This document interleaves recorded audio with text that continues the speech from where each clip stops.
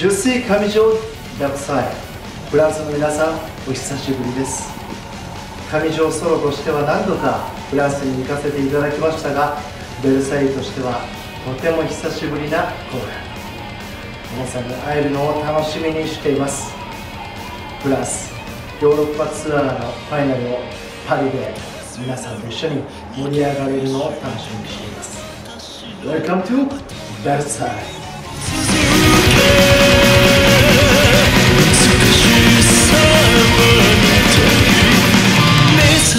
はバラの頂点。鋭い時計と心